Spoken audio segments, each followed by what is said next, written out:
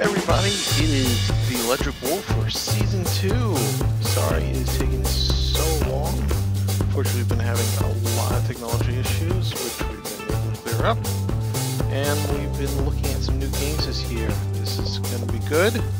Starting off with RoboCraft. This is an, not necessarily an indie game, it is an early access game right now for free on Steam. The premise of it is basically that you build said robot out of like what seems to be Minecraft-ish type blocks and keep and structures, such as SMG, submachine guns, wheels, radar dishes, anything else that, that can really improve your game from the full lot of what you can buy in the Cube Depot. But let me just start this off by saying this is a game that's I've become very quickly addicted to. Uh, but it is free to play unless you get the premium. Now, if you look in the upper right, and I sh should hopefully be able to magnify that, but in case I don't, in the upper right it says Add Premium. You see 3D next to it because I've actually gone out and paid them because I believe in the product. And I got in three days, which means I essentially get double the type of rewards that you would generally get from a game uh, because you paid for that service for that long. Now, let's focus on what you see in the upper right before we go on. The yellow is stars, it's tech points. Tech points allow you to actually buy things from tech tree, so kind of like upgrading or adding. As you can see, I've already played it quite a bit, so I've already gone pretty far, but using tech points related to the tier, because that's of a certain number, you can then buy things like new wheels, new thrusters, new weapons, whatever you need to do. Now, buying them here means you unlock them. To actually purchase them, you need to go to the Cube Depot up here in the menu that you hit by hitting um, tab and use these green points to actually purchase these items. Now, the green points stand for reward points, I believe. And these type of things, both the yellow and the green, because that's just easy to remember that way, are given to based upon your ability to perform in each match. Now, it's generally determined by how many other robots you kill, as well as how many other cubes you destroy. You see everything here is considered to be a cube. Now the blue is how much currency you have unpaid for funds. This is the type of stuff you need in order to buy more premium days. If you go here, you'll see the values actually available to you.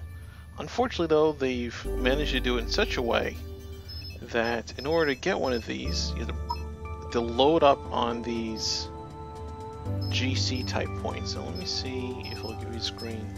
So I can do it way too way too high. So I can go to add funds.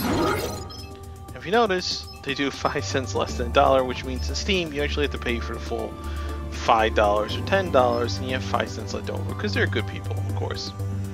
And this will get you the currency cash that you'll need to actually add those funds, sorry. That's generally how that works. Now to access any of that type of stuff, you need to tab. That'll bring you all the menu, which means up here you'll have the actual menus in order to play and build your robot, as well as your ability to battle here. I always agree on practicing what you have first, then battling with each other, and then boss battle, which we'll explain in later videos when we reach that tier. Now, up here, inventory shows you what you currently have available to build with. This is stuff that you don't need to purchase because you've already purchased it provided there's some number after it. Obviously, they still stock the zeros. So if you have it or you bought it once before, you'll see it here. Now, Cube Depot allows you to purchase additional. In case you don't have it, you can get it here, and what you you can buy is actually listed up here in the green. If you wish to sell it, you click Sell, shows you how much.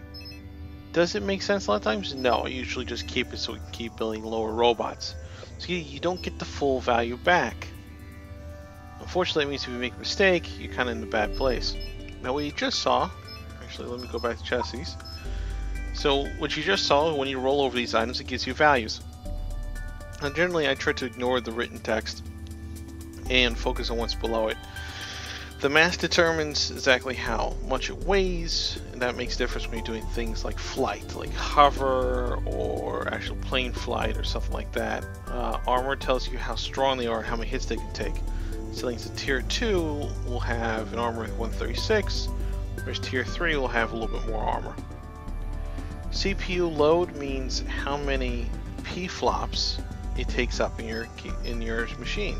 If you notice in the upper left, hopefully we can uh, expand that later for you. You see 54 level in the CPU of 270 out of 1006 P flops. Essentially it means that I can have at most 1006 cubes or some variation of the machines or the weapons that add up to it. Now, while all cubes are 1, things like guns are definitely not 1. So you roll over, they become 10. When you go higher, become uh, 20, 24. Uh, you got 20 on that one though.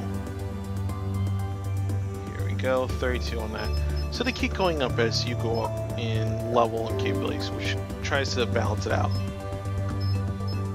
Okay, so tech tree, like we said before, this is where you get to actually unlock items for you to purchase, provided that, of course, you get enough points in a tier. Now, fighting in the tier gets you the tech points relative to that tier in question. So, if you're fighting on tier 4, you're not going to earn tier 1 points. You actually have to be on a tier to earn those points themselves. As time goes on, we've noticed that uh, Robocraft creators have actually added additional items to lower tiers, kind of forcing people to go back and play on some lesser stuff. Part of that's the quarterback tiers here with the shoulder guards that they did with the Yogscast, I think, um, kind of uh, event, I guess, for Thanksgiving, the whole football thing. Uh, they also have these Uber points, so if I click on one of these, I buy with the tokens or I can use Uber Tech points, which essentially means I need to pay to convert the points I have on that tier so I can use it on any tier. And it costs the blue points, which is what you pay for, so generally it's not a good deal. It's essentially free for you to go and just build a, robot down to the right tier. Garage allows you to see all your bays. You're uh, up to three unless you want to buy additional one for 750 game credits or whatever that is. And you can change your name to whatever you want to do load the robot or sell it. Sell it. Once again, you won't get the full amount what you put into it, so that may not be worth it. Social allows you to go in. As you can see, there's not many people online right now, and you're probably not going to make a whole lot of friends on here, so it's going to be just people you pick up in Steam. And you can add to a platoon, which essentially means when you go into a game, they're going with you, which kind of gives you a little bit of advantage because you trust those people, and generally you're then talking to them on Skype or TeamSpeak or something.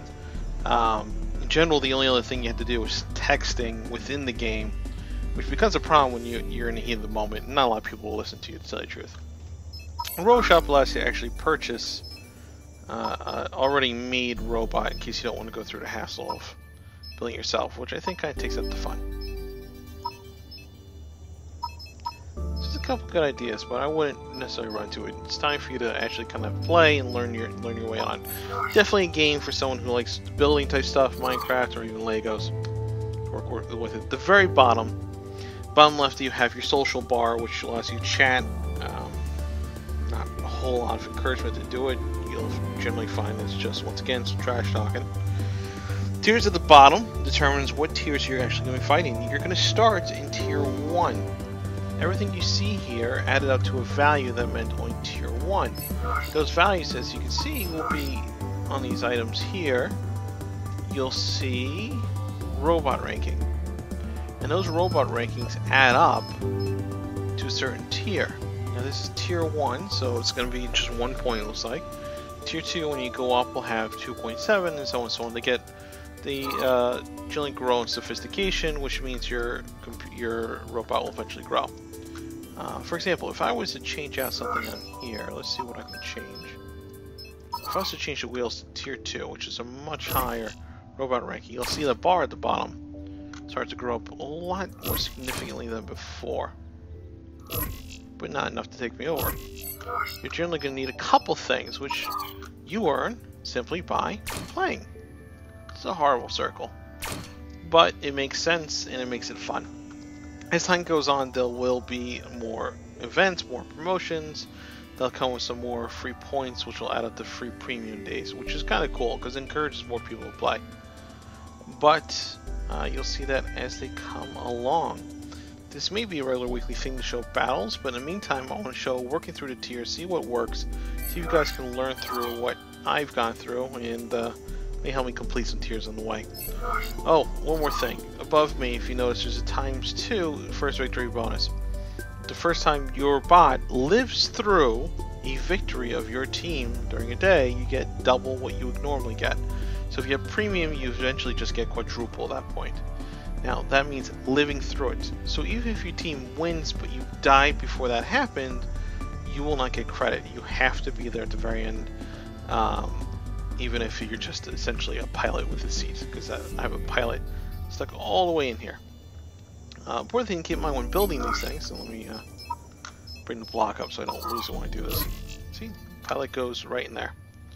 Important thing to keep in mind when you're building these is that your game is essentially over when the pilot's seat is gone, which means the block underneath the pilot's seat is destroyed. So you want to do everything you can to protect it. This does a lot to protect the, the pilot essentially from initial hits. However, if it flips over, it's just as vulnerable as its attack is only one block deep. As more and more sophistication come, you want to add shields to the front of this and so forth, but you want to make sure you protect the pilot because that is game over. Alright, well no chit chat, let's work through our practice so you get to see what that looks like. Hmm. Here we go. After that, we will do a battle. And we'll call it there for the first episode. Let's see what we can do.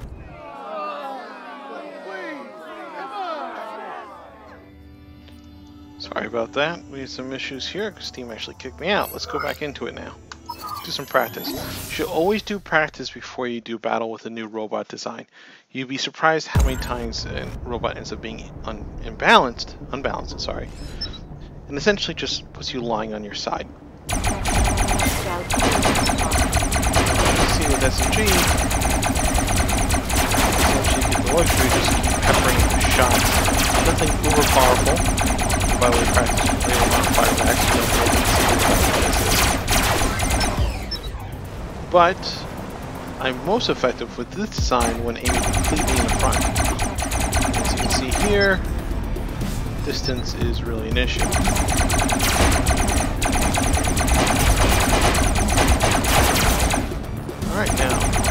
By using the left click on the mouse if I use the right and hold on, I can zoom in and more accuracy with my shots.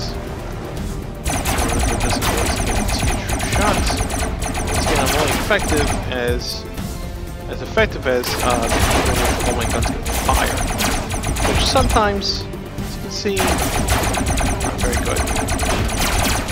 I also do not think ship I'm facing, so said about that.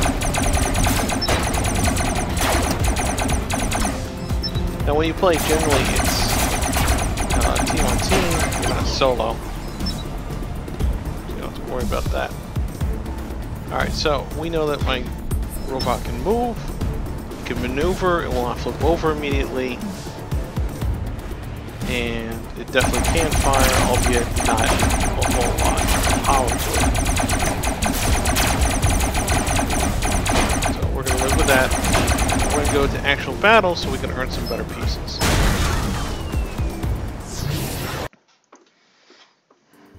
Okay.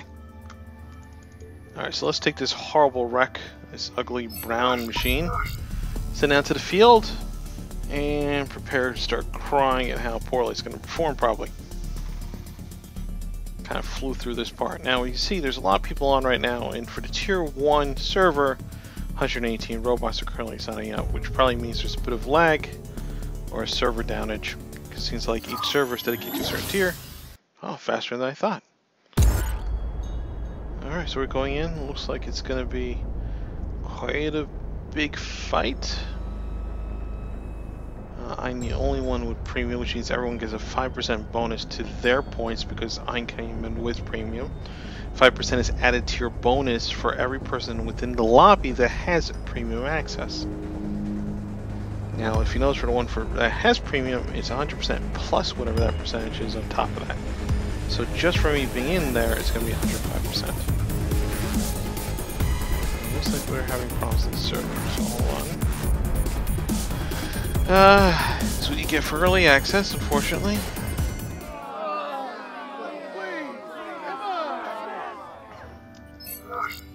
Okay, so probably not the best demonstration so far of Robocraft.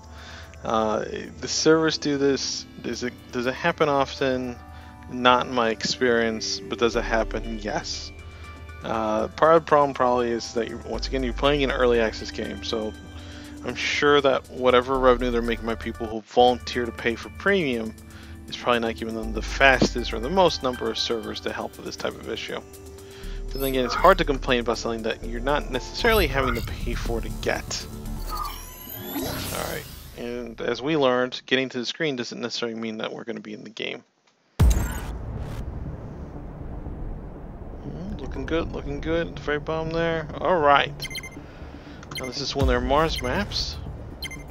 It's like we're playing couple people. If you notice, the icons above their head denotes what type of weapon they have.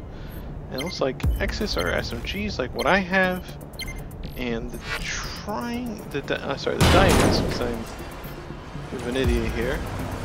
I'll try to follow him and see what he has. As you see, a hover bat uh, bot just came past me. Struggling move a little bit here. Let's see if we can get anywhere. That is an example of what you should not do. Notice he has no balance. This guy has a nice lamp on this thing. Should I stop him? I think he has what's called a rail gun. essentially what it sounds like. It's actually just a rail gun. It means a long load time. And pretty significant hit usually when you address. Now, we see an enemy here. And there's a couple red dots on the map as well. We got one coming down essentially behind us see if we can get a couple ways to do it. I generally try to aim for center because hitting the pilot means game over no matter what. So battling someone here. Shots are coming from now. I've already lost a couple blocks. It's kind of cool effect. The physics of it. Interesting limit these losses. Looks like got another kill This guy lost ability to move. There we go, I still got my kill here, I. I haven't lost a wheel, but I've noticed I lost two guns. Now, at this tier, there is no healers. This example of what not to do here. Oh!